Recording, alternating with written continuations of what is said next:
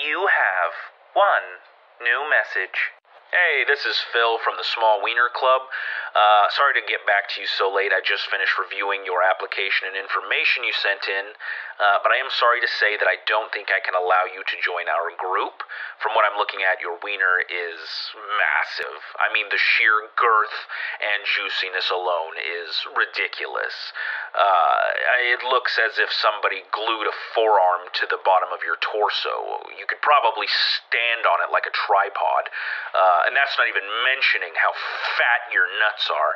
Uh, but it does appear that you're going to have to take that ginormous schmeat uh, somewhere else. But thank you for trying, and best of luck to you.